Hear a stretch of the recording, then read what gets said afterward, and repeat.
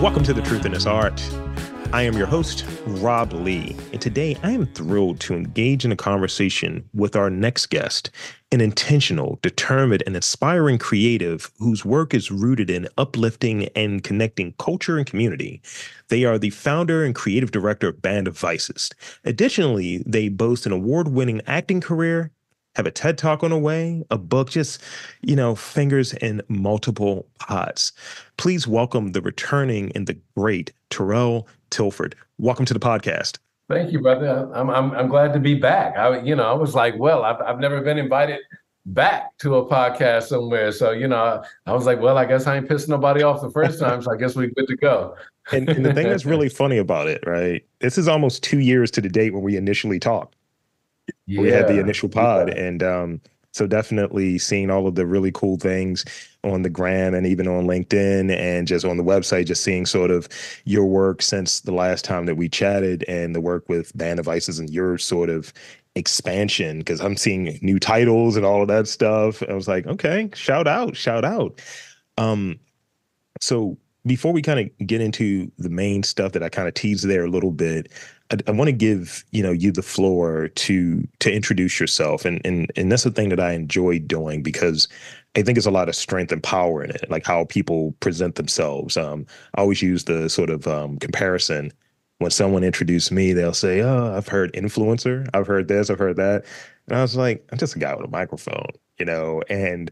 I, I like to see where people present themselves and how they describe what they do and what their background is. So, if you will, floor is yours. Hmm, I had to I had to I was like, you know what? Let me just go to my one of my uh, Instagram or something to see what I've written recently. Uh, one, I'm Terrell Tilford. I'm the founder, creative director of Band of Vices.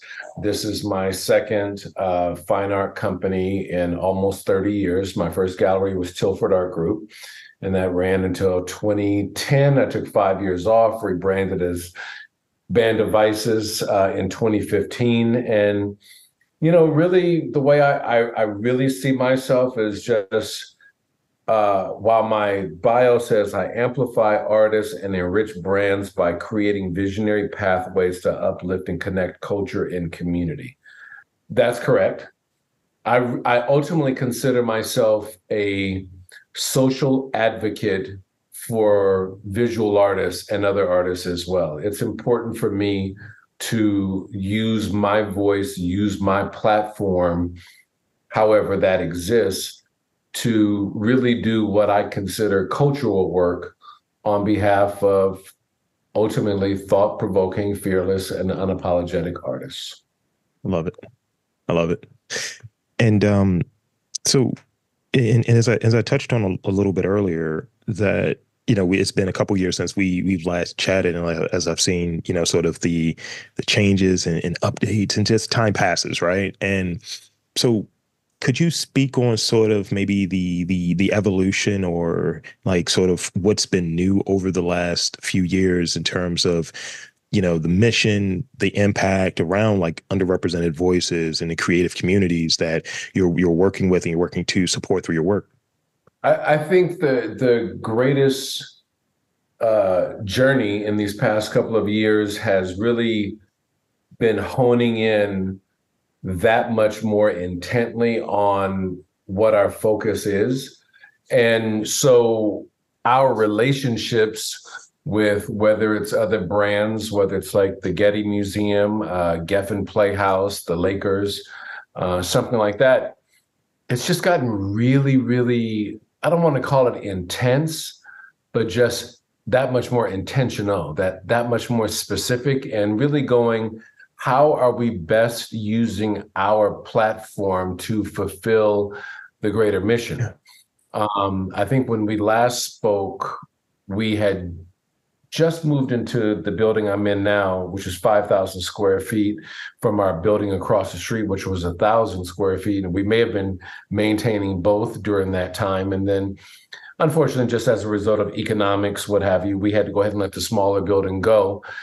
And so while we're in this bigger one now, you know, we've been able to align ourselves with you know, a number of uh, productions and and other brands, and really, God, it's weird, but you know, it's almost a sense of while you still need to do exhibitions and sales to pay the bills, um, we've also just done some things, a lot of things that we knew weren't going to make any money at all, that we just felt like it was important and significant to do that work. It's important to show certain artists just because they have a strong voice and they have a futuristic voice as well. You know, it will be a time when people will catch up to them, you know, which, you know, I don't necessarily concern myself with in terms of where where we are in the now, but I believe that you have to show artists and you have to do things and if you have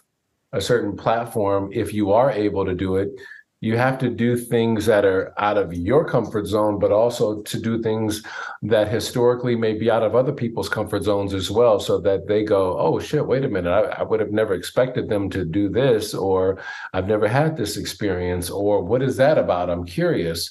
And to bring people into the building, into the fold, or if we're offsite somewhere else, in a way to, again, experience something greater than they may have experienced previously and to me that has no economic that has less of an economic value than a social responsibility. I think i think that's a that's a really good good point there. And you know at, at, times when i'm when i'm doing this and i have these these conversations i do these these podcasts and we're coming up on 700 interviews at this point. Wow. Yeah in four in four years. And you know you you have these conversations with folks and they're like how you monetizing? How you doing this and how you doing that? And you should put it behind a paywall. And i was like these are things that are going against the ethos my values and so mm-hmm. on. And you know i've i've had conversations with folks that will you know who are in sort of the you know sort of the social justice. Some some of them are politicians but it's more in that i work within the arts sectors. And you know you'll you'll hear like you know this might be, might not be a good economic driver or good in this way. It doesn't, you know, it's going to be a loss, if you will, but it's probably the right thing to do. So I'm always curious as to how does one, and maybe maybe get your take on this. How does one parse through through that? Is it sort of that that curatorial sort of approach of I have a feeling like my gut saying this, or what is it for you when it comes to making those sort of decisions? I think it's a uh, it's a cross between you know, I, really work from the heartbeat of people and experiences and their art as well. And sometimes you just you just have that that sixth sense about someone or you know um you just believe in them and you just go damn you know what the timing on this is probably not the most optimal time for them but if not us, then who will? Mm-hmm. And to me, that's a that becomes a social responsibility um, that I have to kind of balance with everything else. And you know, when I get with my my team and we sit down and go, okay, these next two months might be a little rough, but but when we think about the greater picture of what we're doing and why we're doing it, um, it does have its own value. And and yeah, it's it's it's a challenge. Um, but then you put up exhibitions that you just know are going to be a go, yeah, and they may not. You know, and you just go, well, you know, we we put all of our effort into that, so why can't we put a you know uh, a similar level of value into things that we know won't have an economic, you know, uh, upside to it in the short term you know? Yeah and and one of the things I'll say as I, as I kind of lead into this this next question because I think it aligns is you know when when I go back and think about that that first interview um, that that that we that we had and I just remember sort of this this influx of just you know Band of Vices showing like Baltimore artists like in a completely different coast and it was just so uniquely aligned with what I was looking to do, amplifying sort of our our people here. And you know, you'll you'll probably like this. Um, you know, I believe Monica's work was was there, Monica Ikegwu, and Monica uh, did a portrait of me in my studio. It's it's great, and um, so can you can you speak on some of the just just maybe one or two like examples of like really milestones or like memorable moments over the last few years when it comes to like yeah we absolutely were six months we absolutely were a year in front of people even talking about let's say the, the you know baltimore artists. It's like now people are talking about it but you guys were early you know No, I just I just came back from Miami for Basel. We were uh, exhibiting at Context Art Miami, and you wouldn't believe how many people rolled up on us that were like, "Yo, y'all have put a gang of Baltimore artists like on on on game or whatever." And I was, you know, you know, we can only take credit for a very small part of it. I just say, you know what? I said, don't sleep on Baltimore. They got a, they got, you know, a dope system up in there, what have you. But then we also had, you know, a great curator out of Baltimore, Thomas James, come through, you know, with, you know, slings and arrows with a whole, you know, with a whole crew of crew of artists as well. So I definitely want to shout him out and give him, you know, his props for that as well. And you know, there's God, there's just been so many different artists over the years that have just you know went so many different ways you know i i think in my most immediate you know recollection is you know probably like Victoria Cassinova whose solo show we just recently did well about four months ago show called paradox her second solo show. Um, but and and I'll get to my point, but in in sharing her work even at uh, in Miami, you know, so many people were connected to yes her artwork, but they were also connected to their story. You know, this is a young woman who less than 10 years ago was locked out of her apartment. She climbed the scaffolding five stories up, you know, to get in. There was a window open. She jumped from the railing to the window to try and get in, and she didn't make it and she fell five stories and she literally broke every bone in her body. And, she, you know, for someone that was originally trained as a dancer, the doctor said that they were going to have to sever her leg, which fortunately they didn't. Uh, her pelvis was crushed, her spine was shattered, all sort of brain, you know, activity and attacks as well. And she taught herself how to draw in the hospital. And here she is 10 years later, um, sort of using that trauma, but in a real uh, reinforcing way for herself to, to redefine the notions of the, the female physical form in contemporary artwork. And she's saying that, you know, don't count out the, the duality or the multiplicity of how complex the female form is. And and she she does these oil paintings and then she does these graphite on paper with oil paintings of the body contorted and twisted and this and that. And while it may not look perfect according to art standards mm-hmm. it just has its own beauty to it because she has she's re-owned for herself her body and that she has these she draws them perfectly in their contorted ways. And then she scratches out the faces and put like these little crayola or you know what have you like eyes and mouth on them make they call them like monsters. And that's the psychological component that she's saying that carried her through her rehab her rehabilitation over these years. So when you come across an artist like that who's young mm. and who's thinking the way that she is and she's as talented as she is um, you go i got to do something with them i'm just i selfishly just you know love the work and just you know actively you know want to do something and you know that's one of those shows that you know you put it up and people come in and they're just absolutely just blown away yeah. just just you know, just really, you know, and there have been a number of shows like that. But what I'm most, I think, sort of proud of it was interesting when people down in Miami walked into our booth. And while we had the smallest booth in the fair, it felt like the biggest because one, we were on a corner and it was just vibrant, it was energetic. And the number one thing, you know, people would come into the booth and hang out and they'd be like, and we were showing three artists, and they were like, man, the energy in here is just like crazy. And that's the same comment that we get in in the gallery here. You know, people, the number one response that we get, you know, and we get it eight, ten times a week, and it's always a surprise, and it's just so dope. People can be here, and at some point they'll be like, "Man, it just feels good to be in here. It just feels good in here." And I was, I was just always like prayer hands, like, "Man, thank you that."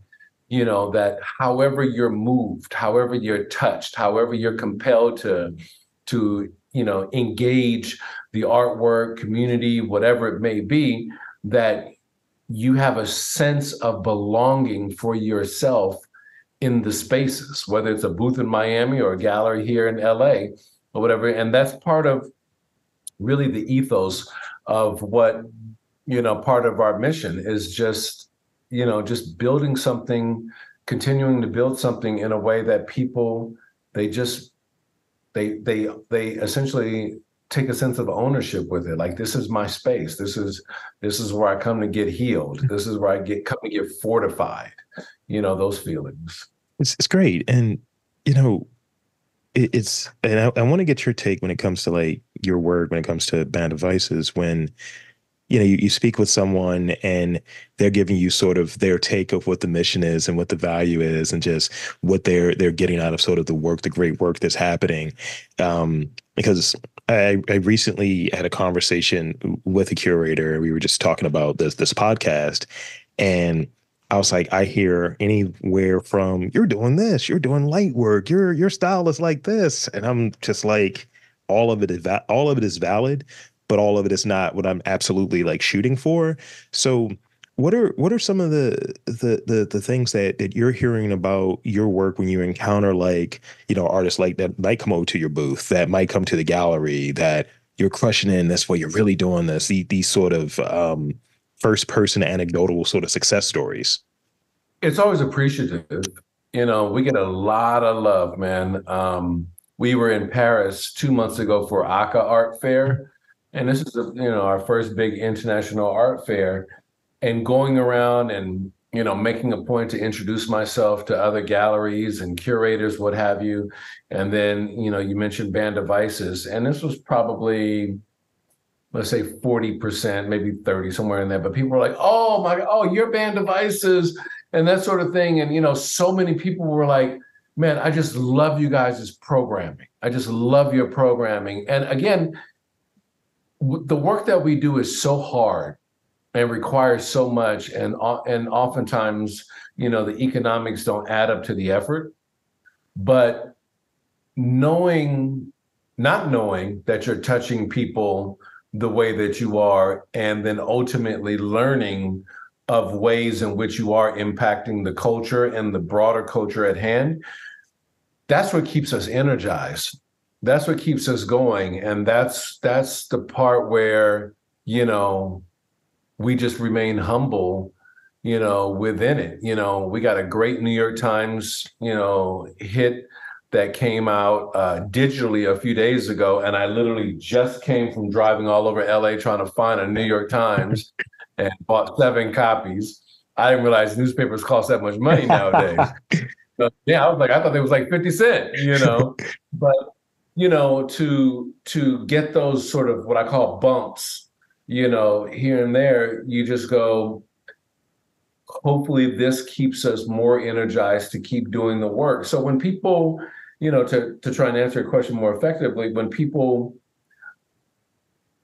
unless they're completely off mark somewhere i allow people to arrive at how they arrive at us Hmm. it's the same way of curating a show i may you know i'm a storyteller with curating however if somebody comes into the space and decides to go to chapter nine before starting at chapter one, that's okay. I, I want them to feel compelled and pulled in whatever direction that their spirit moves them in because I don't want to control the narrative. Yeah.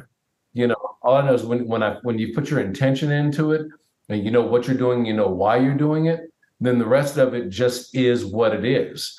You know, every once in a while you may, you know, have what I call creative tension with someone and sometimes you know both parties can't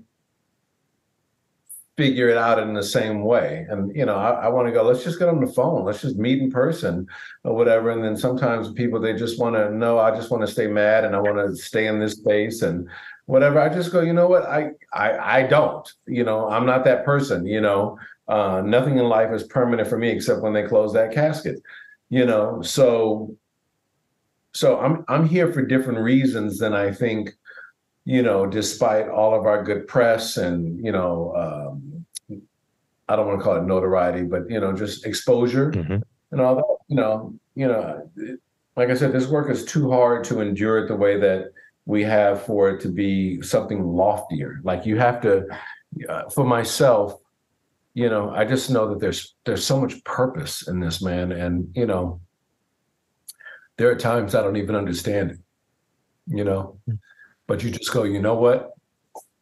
This is work I believe in. These are people that I believe in, and you know, I pull up to this big ass expensive building, you know, when I do, and I just I start with thank you. I start with thank you, and then walk inside and wait for something to blow up.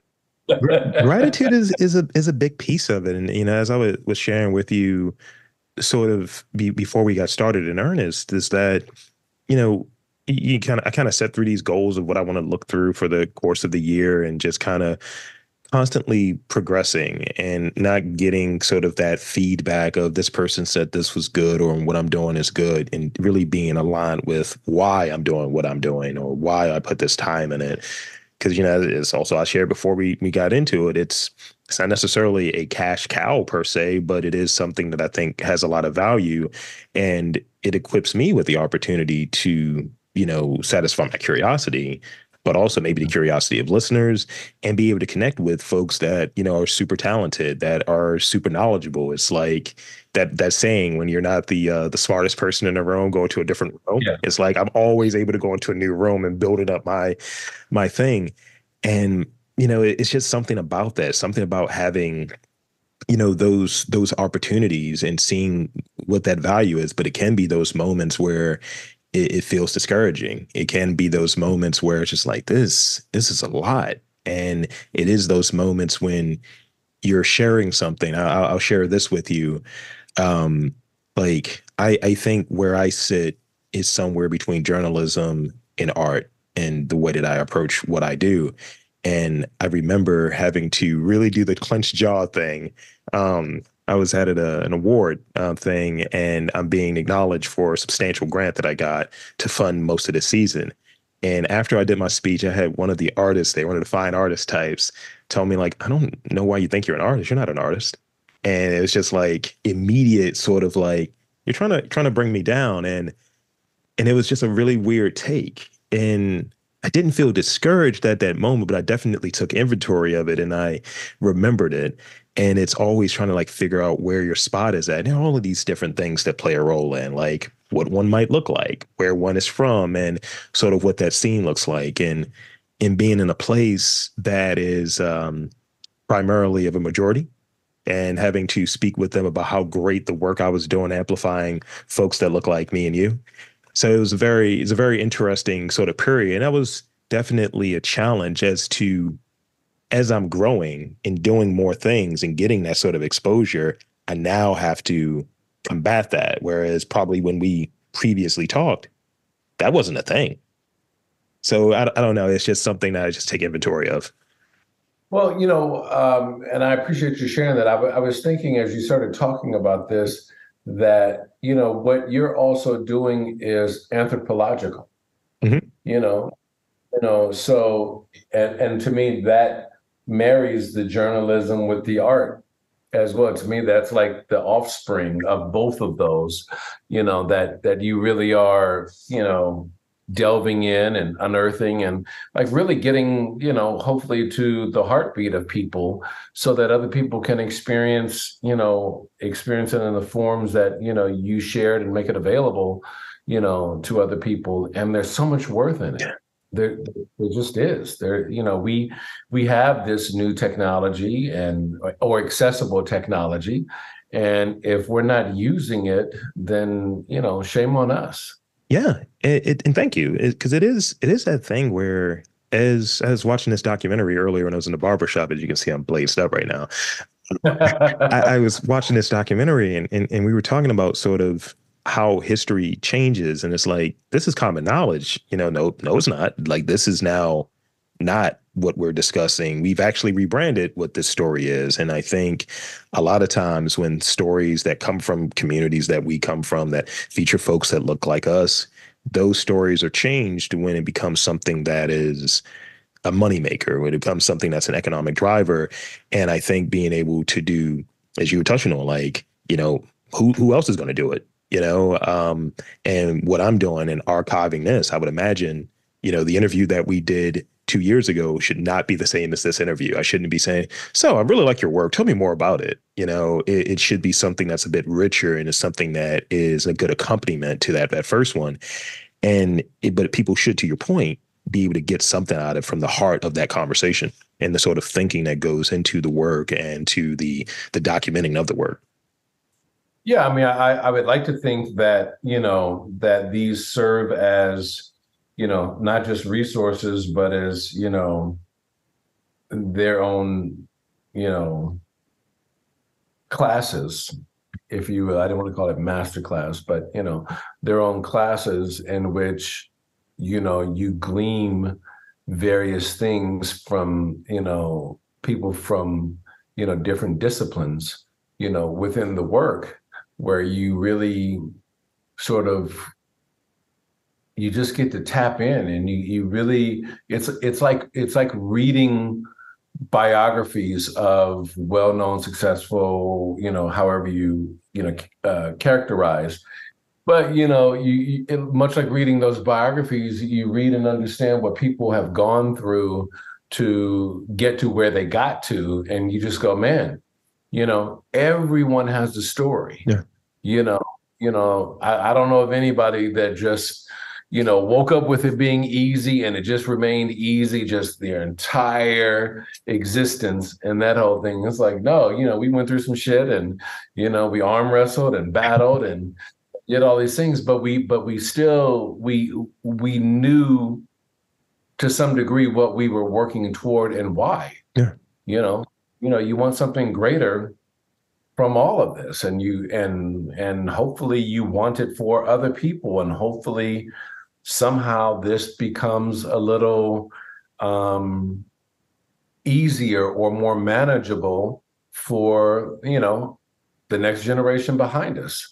At the same time that you know you know i got a nine year old daughter now that you know is absorbing and has been absorbing everything since day one anyway but um but from that perspective and younger artists and you know and that's why i really try i really work toward making myself accessible um to other people because so often they don't have the accessibility or um, look i'm overextended but i end up having these conversations with people almost every single day because there's a need there Yeah. You know people walk people walked into the booth a couple of them. I was like do they know about my other platform? Because my man was like and, and the sister who was a psychotherapist is now we got to talk. And they were like i need to talk to you.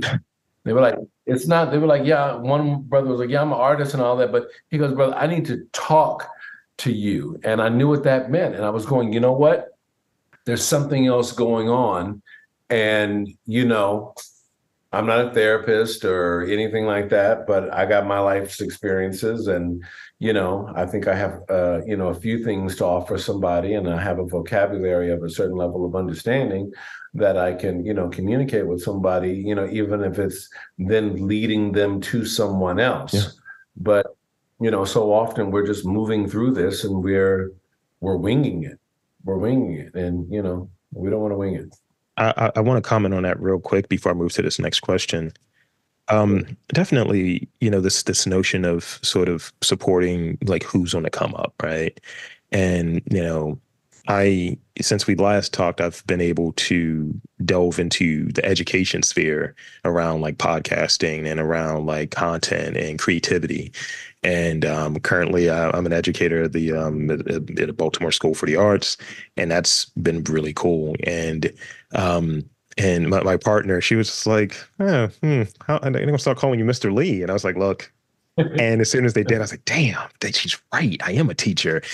And, and ultimately seeing like someone who who looks like them that's from sort of their same or similar or relatable sort of upbringing and being able to, as you, you touched on, having a having lived experience, having a vocabulary, and you know, pretty much knowing this thing, but also presenting it in a way like, no, you should be able to do this. You can do this. This is simple, and um, you know, it was definitely something to learn and something to do and something to grow in.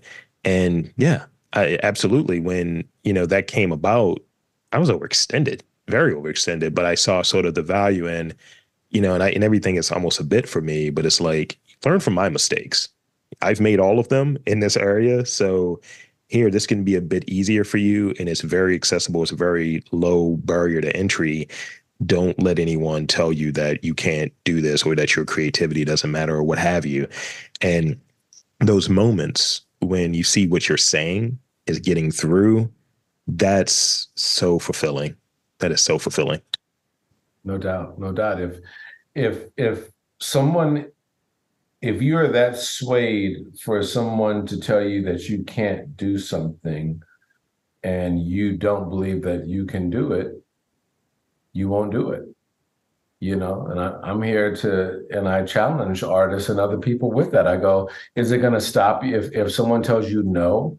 Is it going to stop you from actually doing it? No. Wonderful, great even if even if you're submitting to us and you know we can't get back to you whenever because you know there's a lot going on or or if i tell an artist like hey you know i don't i don't really feel like your work is you know the right tone for what we're showing right now or what we plan on or we have too much of this or something you know don't be in, don't be dis i hope you won't be discouraged by it. I want you to be fired up by it. Be like you know what? Fuck that. I can i'm gonna go somewhere else. I'm, I'm put it up myself. I'm gonna do you know whatever. But it's like, no, you know, if you got something for yourself and you take ownership of it, man, you know, fire away with it for real. That, that, you know? that is that is my energy. That is, that is that is my energy. It's like, look, tell me no. I, I remember talking to a funder about this project I wanted to do, and and they were kind of making it seem like they had more say. And I was like, look, I can do this without you. This is a courtesy, if anything. And they were like, oh, I was like, absolutely. Um, so I want to get this take on you. And this is a little weightier, I think, of a of a question, but so I, I was sharing with you earlier about the the documentary. Um, I think before we got started, the documentary around like sort of black art, right? So I wanted to get your take on sort of the current state of of black art and conversations around black artistic expression. Um, and like what have you observed? Like just from your view your viewpoint over the last like five years so that's inclusive of sort of pre-pandemic pandemic and like this stage of pandemic because i always say there's a pandemic going until someone tells me there's not.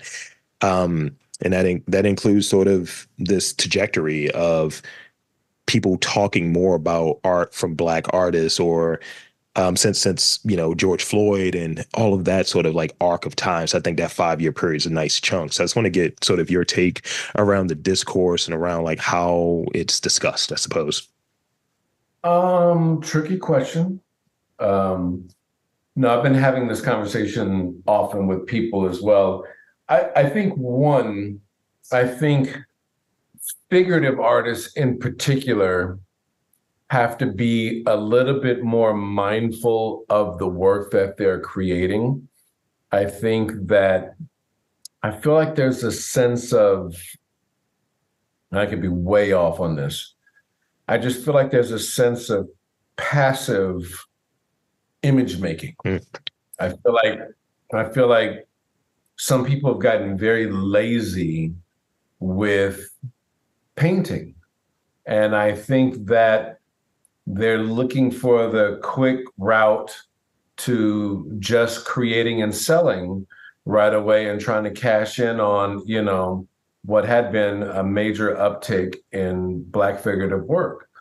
And I see that tide has been shifting, you know, over the past year and a half, close to two years now. And I've spoken to, you know, several curators and gallerists about this, you know, you know, the George Floyd and Black Lives Matter impact, you know, um, brought a heightened sense of awareness to Black figurative painters and, you know, let's just be honest about it. You know, every white collector, for whatever their various reasons to collect or acquire this Black figurative work, you know, whether it was to feel a sense of supporting or taking advantage of uh, a moment or dealing with their own white tears you know regarding some of it at the same time. And you know i, I and i want to be respectful of of every version of that um uh in in saying so. But everyone has sort of collected the majority you know it's like it's like you feel a sense of oh we did that Mm. you know from from a lot of people and so what it has done now, it's made it a little bit more of a challenge for some of those artists who whose practice isn't as sharp as others. So it's making the distinction a lot broader between, you know, really good, imaginative, thought-provoking new work and just creating something that's on the hamster wheel. Mhm. And so I think what it's now doing is shifting a bit of the focus to more, you know, expressionistic work, abstract works, um, textiles. You know, people are finding new forms and new ways of, you know, creating specifically figurative work. But then there's, you know, these other medium that that collectors are starting to get a little bit more savvy about as well. And you know, while these forms have, you know, existed, you know, forever, I think that there's just a level of a different level of sophistication or a different level of of mindfulness that people are looking at now because you know they've collected a lot of figurative works black white people everybody and so now, you know and i have people that say yeah i'm looking around and i got all these eyes staring at me or i got all this energy of all these you know souls and whatever and i need something to you know so i i just think that i lost my train of thought of what originally what was the original question? I mean, you you, you were over there cooking though. um, just just just sort of your your thoughts on the the, the state of like black. I yeah I, just- I just i just yeah i just think that you know we we owe it to ourselves to really continue to evaluate the work that we're doing Mm. and also i think that we have to be open or more open to constructive criticism Mhm. You know there there there, was a time you know whether it was um, spiral or you know other groups and i'm sure there are collectives out there now but i i I think you know we have to let down some of our ego and you know not go on social media and want to blast somebody just because you know they didn't love their work. But i think that there needs to be a window or a space in which you know we can really grapple with you know material and ideas and thoughts and have a little bit of a challenge within there of trusted you know folks within your tribe you know to be able to talk about the work. And i, I don't i don't know i feel like there's um i don't i don't know if there's a lot of space for that right now i feel like a lot of uh artists are uh, just let me do my thing and you know and you got to let them do their thing Thank you. That that is um we're on. We're we're we're here. We're here. Okay. so thank you for that. Um, I mean, my, my, my thing always at the end of the day, man, is look, I want I want to see everybody win. So when I say things, you know, and this isn't a disclaimer, you know, but when I say things to artists or I go into their studios and I'm challenging thought or bringing up something, it's really because I want their highest good. I'm not creating the work, but I see so much work that it creates a better context for me to even discuss work. You know, so when I do comment on someone's portfolio or something like that, it's not to be like, you know, it's like, no, man, go back and do the homework, go back and do the work. Like, really wrestle with this shit because I want you to be great Yeah. for yourself. Now, it ain't got nothing to do with us. I, I want you to just get in there and and and do this thing so that way at the end of the day you can look back on your body of work or you know what you've done or what you've achieved what you've left as legacy whatever whatever the benchmarks ideas and thoughts are for you but that you feel good about it for yourself first and foremost you know before letting someone else determine mhm. a certain value uh, of purpose, you know, within your work. But if you're doing everything that you can, if you're working that hard, if you're wrestling and you're studying and you're, you know, taking the steps, you know, Tommy Mitchell, Baltimore-based artist. It's easy to talk about Tommy because Tommy is working every single day. And with each body of work from over the past five or six years that I've worked with Tommy, every body of work supersedes the previous. And I always think there's no way in hell he can top what he did previously. And I'm telling you, there are ways in which I can't think that he can top his previous body of work. And he does it every single time. And it's because whether he's traveling or whatever, Tommy's got a small canvas with him, whatever he can pack in a bag somewhere, he's in his hotel room. He's doing two things every single day. He's shooting buckets on a basketball court in any city, anywhere in the world, and he's and he's drawing every single day. And to me, he's already really good, but this is what's ultimately going to make him a great artist because he has the discipline Mm. In a way. And then Tommy and I will talk. You know, we talk about themes, ideas, bodies of work, this and that, and you know, and then he'll take some things, and you know, even if you know, I'm gonna say, ah, you know, I think you could do without this. He go, all right, well, let me try something else. So, but I, I just love that the the sort of rapport that we have is really one of love, Yeah. and one that we trust one another.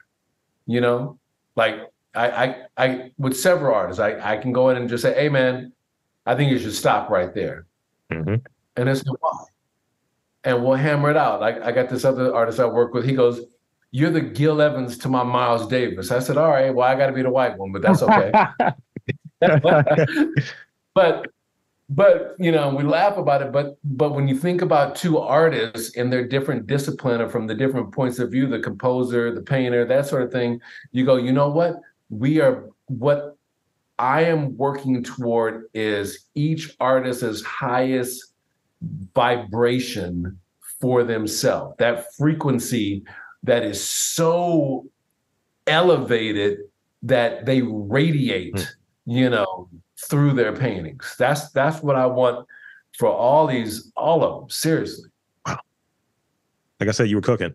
I I appreciate that and thank you. Uh, it's you know I, I I relate to it from from this this vantage point a lot. Um, when you know I'm very aware and respectful of this is a lot of times the first time someone has actually asked someone about their work, had them on to talk about their work. I don't want someone looking like an ass on here. So um, I try to go out of my way and like, are you good with this? Do you, do you, can I send this to you to listen to beforehand? Because I'm coming from it from this standpoint, and you know, really just trying to put them in their best spot to to thrive and and, and do really well in it, and really show themselves in their best light. And that that's really what the the focus is. And you know, that's that's that's really what it is. And I find like at times some folks aren't really you know, they they like certain elements of the lifestyle, perhaps, but not actually doing the thing. And when I talk to people, as I was talking about earlier, being an educator, I always have some recording device with me. I always have my thing with me because it's like I am a podcaster. I'm not a marketing person. I'm not someone that just does this. This is what I do. And you know, check the credentials. That's that's sort of the the the vibe. And you know, when I see people, I see someone pull out a sketch pad, they have a few minutes. I was like, all right, I rock with what you're doing. You're really into this. And you know, that's that's that's the thing for me. Um, so I got um I got some rapid fire questions and then like one sort of like final question I'm going to say for after the rapid fire. So if you will indulge me, we can go into them. What's up? What's up? All right. Um, so this this is the the first one. Um, it's, it might be a little bit longer than rapid fire, but I at least want to throw it out. Um, so we we have this sort of ever changing landscape in arts, media, culture, all of that stuff as to you know how we're looking about looking at things, how we're discussing things, and what's at the forefront. How do you stay adaptable and innovative amidst these changes? Um, and, and and I'll just chime in, be giving you a time to kind of process and think through it. Um, I find that it's always we're always returning to to things that existed. So I find myself going back to old audiobooks and just listening to like, oh, this is the history around this. This same sort of style this person was working in or uh, their approach to their creative practice. This has been we've seen this before. We, we've we've done this before, and we're doing a sort of different version of it, but the the framework is very similar. So I have that as a sort of relatable point when I'm talking to someone, I suppose. So being able to dive back into like old text doing the research that you touched on a moment ago i think that helps me eh, because i think we always are encountering just different shades of familiar things so for you how do you stay like kind of like in the know adaptable and innovative how, how do you stay kind of like up to up to snuff You know, I'll be honest. I'm not convinced that I'm, I'm just, just like for real. I just, you know, and I, I tell this even of like my associates and things that you know come and do things. I said, listen, I have a way of doing things that I am thoroughly convinced is not the smartest way to do it. So I say, I'm going to show you how to do something. I'm going to lead you somewhere. And then one or two times, but then take ownership of it for yourself. You know, like, like really, you know, find the version and then hell, teach me. And so even with one of my associates that, you know, came to Miami with us, we were installing and I kind of uh, overshot uh, dimensions a little bit to include two other paintings. So I asked Dylan, I said, Dylan, what do you think? And she started doing this and moving things around. And, you know, what if we do this over here? And I was like, you know what? I said, bet. Let's let's go with that because I don't have. Uh, we all have some ego. I don't have that much ego eh, that I have to put my name on everything. I just wanted it to be the best version that it can be. So I even told Dylan, I said, "You just earned your stripes on this one. You're you're now you're now a co-curator or whatever." She's like, "What?" I was like, "It's that simple." I said, "You know," and I said, "I appreciate." Because I asked her why, the whys and everything. She came with it from there. So when I look at the broader thing, man, I'm a lot more analog than these digital cats. you know, you know, I go out and see other people's stuff and my buddy, you know, Rick Garzon from Resident Residency Art Gallery, he has a wonderful program um, that I love, you know, amplifying every chance I get. Um, some other wonderful people out there doing some great things. Um, and, you know, I'm constantly trying to answer that question to myself like, how can I be better? How can we be better? You know, there's some other things that I'm sort of working on that are much more they bring more value to Band of Vices than me just sitting here in the gallery. Yeah.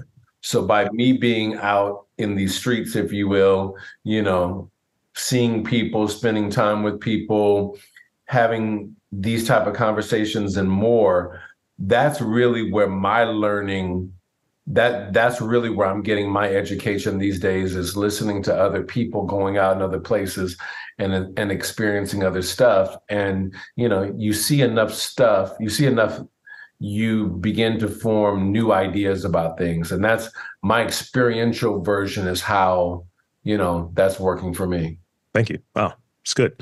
It's really good. Um, where? Usually it's when, but I want to ask it as where. Where do you feel most inspired? two places uh probably in meditation Hmm. and then i said i sit a lot of time just sitting and thinking. Just a, a lot. I like at night i'll get in the bed and i'll just sit there for three or four hours just virtually no light on maybe just from the street outside or something like that. You know i may have like some high frequency stuff playing or now andre 3000 or something like that. And just like really just just allowing the wavelengths of, of things just to take me places um, because you know i really see a lot before it happens i just i just do i think we talked about this previously but you know i have a my, my visionary thing is really strong and so I see it in front of me. And then I go, okay, well, now what's the pathway to get there? You know, and the other part is when work comes in and, you know, I'm curating and putting the show together, and then I'll go home that night and I'll dream about it.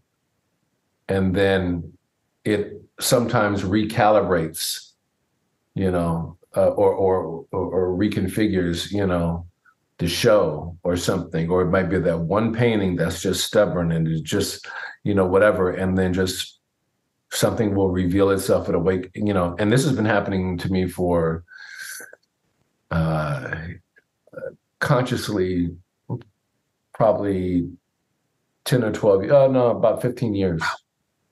Yeah. So like, like I, I try not to force anything. It's like I, you know, I, I like to I like to let it reside, and then I I like to let creativity talk to itself, and then I kind of like stand back and it's like, and that, that I think that's what those really private moments are. Is like me working at listening to everything everywhere.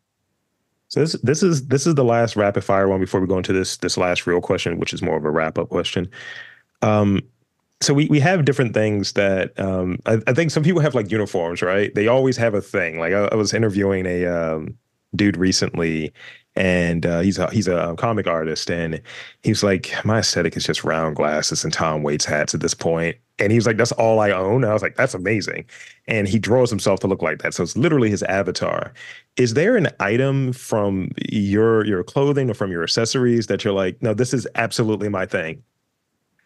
all the time. You will probably see this scarf in particular in almost every photo that I shoot, but my team gives me a heart. They joke with it, but because I call it my Linus blanket.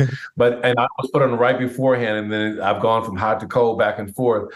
But I literally have a scarf, a neckerchief, a bandana, something on every single day or whatever. And it's it's it's my comfort it's my comfort piece. It's it. If anybody were to say, "What's that singular piece of clothing or something all the time?" It's going to be a scarf.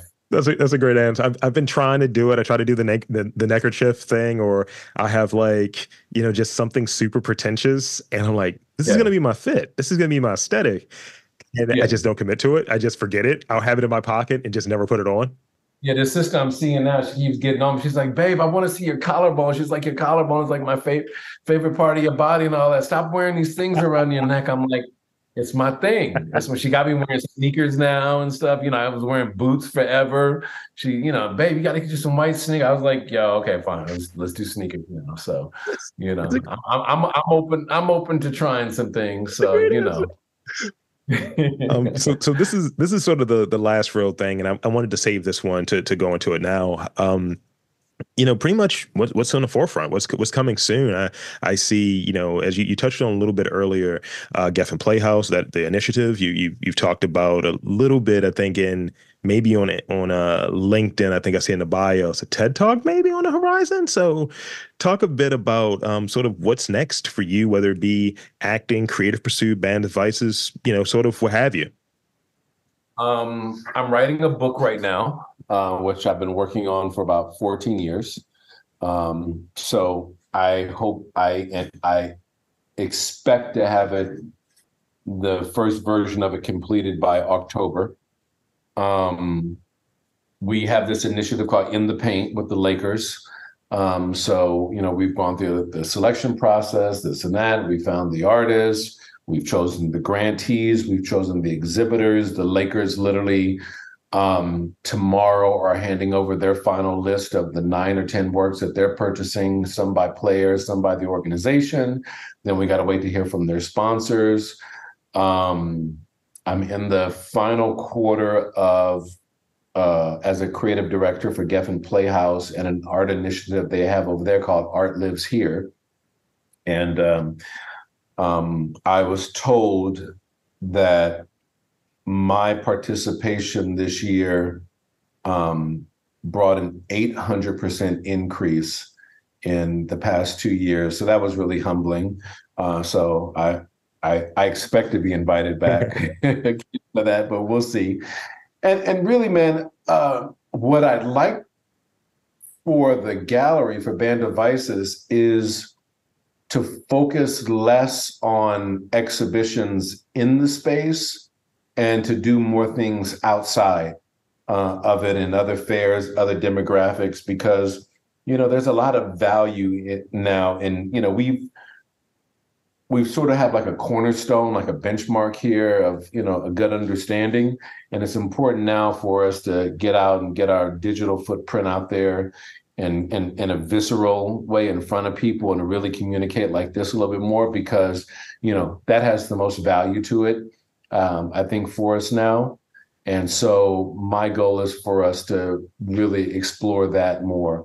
And then just independently while still using the name i'm in contact with about three other galleries right now um, and exhibiting partners uh, new york dallas and baltimore um, about about um, curating in those spaces um, for next year, and and that I'm really excited about as well. Like like my you know the work that I've done here in the gallery, I'm highly proud of. However, I'm ready for someone else to come in and do more of that now. You know, I'm, you know, I don't need to curate every show. I don't need to have my name on all of whatever. I do it out of necessity, but you know, it will bring more excitement for me to have other creatives coming in. Excuse me, to have other creatives come in and really activate, you know, the space in in ways that are much more imaginative, much more creative, and probably a, a little bit more at the forefront than you know the work that I've done. Like I said, brother, I have no ego. You know, you you do what you you do what you know, you do what you understand but you know until someone tells you differently you just keep doing that thing um, but that's also why it's been helpful for me to get out into other places and spaces as well because then i see things that i go i absolutely want to do some version of that or i love what they did there. There's no way in hell i can compete with that there but i just love it. And you know because I sort of am where I am in this space of what I've been doing for the time that I've been doing, it's just been really, really important for me to really let other people not shine, but just to um, acknowledge them you know, and to be like, man, you know, I really love what you're doing. You know, I really, uh, you know, I really believe in you. And hey, if it just, you know, let's work on this thing right here, tweak this thing, that whole thing, you know, other things with other people or whatever. Because again, man, I, I just want to, I just want to see people like thrive, you know, and I want people, I want people to be like, there was that I had somebody behind me. There was somebody that had my front and my back. There was somebody that, you know, if I posted something that sounded weird, they may call me and say, "Hey, man, take that down," or "What's going?" on? You know, checking in. You know, like like in real ways, because I think that's just something that we just sort of take for granted, and we just also I've just we never know what's going on with other people, and I, I think from that mental health standpoint it's really important to check in with people and see where they're at because you know you may you may touch on something that may either help ignite or shift something in their work. But more importantly if it heals something in their heart. And that's you know that's ultimately what you know i want for all of us. I want us to have healed hearts that, you know that absolutely comes through and you know i always go back and think about certain moments in this sort of podcast journey and, and I still feel so pretentious saying it, but it is what it is. Um, I, I, remember when we did the first interview, and I kept, I, I, you know, sort of the confidence thing, and just really trying to find that place. And it's always a certain degree of that in, in doing this. But I, I remember one of the things that you you got over to me. You said to me, you were like, you know, stop saying try He's like, you're doing it, brother. And I was just, and I always reference that because I was like, I'm just, you know, doing doing this, and I I know my lane, and I'm good in what I'm what I'm doing. But having someone with that sort of acknowledgement, someone that's in that level, and having that that name and that background and all of that stuff, it's just it's it's rewarding, and it also feels like really sort of empowering. So it's like, yeah, I've carried that with me. Yeah. Oh, thank you. I appreciate that. I heard you say it right before you said this too. I heard it again, and I heard eh, whenever I hear myself, I always try and back it up, and I always work towards backing it up and you know using something else. This sister and his brother came into the booth the other day in Miami, and just engaging with them, and they were just excited and young and that whole thing. And we were talking, and I said, "So what?" Did, I said, "So what's next? Where where y'all going after this?" She goes oh, I guess tomorrow, you know, we got to go to Scope. I said, you get to go to Scope. Mm-hmm. And she, it went, and she was like, oh my God. She was like, thank you. She goes, and it just, you know, it, those are the things for me that that little shift, that little tweak somewhere that just gets us all thinking a little bit differently. Yeah somewhere just from an energetic thing. And the the fact that she then took ownership of it. And so she was like oh my god this not you're so right. Because and i was like it's all good sis. It's all good. I said but but, but you get to go. I said enjoy it. I said enjoy it you know? So you know that for me is like the ethos of i really i know i keep saying it but it's really how i just carry all of this stuff and work work toward all of it. It's just every day going, you know, what can I do to be more of a contributor? What more can I do to lend a voice, lend some support, tell somebody you love them, hit somebody like, I love this piece. I, and if these aren't artists that I work, you know, I'll be hitting people left and right all over the place, like, yo, I love this work right here, or you graduated with this piece. like that. And it makes people feel good and people like, oh my God, I didn't even know you were like, like, you know, I mean, I don't know if you know Daisha Board Gallery out of out of Dallas. His sisters, I just love her. And I met her last year in Miami. And as soon as I walked into Prizm, she was like, "Oh my God, this and this and that." And she was like, "I'm da-. I was like, "You're Daisha Board, this and that." And I like told her, I was like, "I love the last three shows that you just did." I'm telling her about play, and she's like, "I can't believe you know everything about my gallery." And I said, I said, I may not have had a chance to share it yet. I said, but I love what you're doing. I love what you stand for. I love who you're working on behalf of, this and that. I love these particular artists in here, and I'm excited to see this artist's work. And she was just so like enamored with it. And, you know, I tell her, like I tell everyone else, just pay it forward. That's, I think that's, I think that's where we close. I mean, you, you, you wrapped it like right there. I like that. Um, and and and thank you for for all of this. Um, this has been great to reconnect and and, and do this pod. And um, you know, again, thanking you. And I want to invite and encourage you to share with the listeners website, social media, all of that good stuff, so they can find out. You know, sort of that shameless plug portion. The floor is yours. No, no, no, no, no. We, we we will make sure that happens, no doubt. Yeah. In fact, I'm going to make sure that that they uh, are aware of the first one as well, so that maybe they got some context, and maybe I'll go back and learn something new as well. And there you have it, folks. I want to again thank Terrell Tilford for coming on to the podcast. And I'm Rob Lee, saying that there's art, culture, and community in and around your neck of the woods. You've just got to look for it.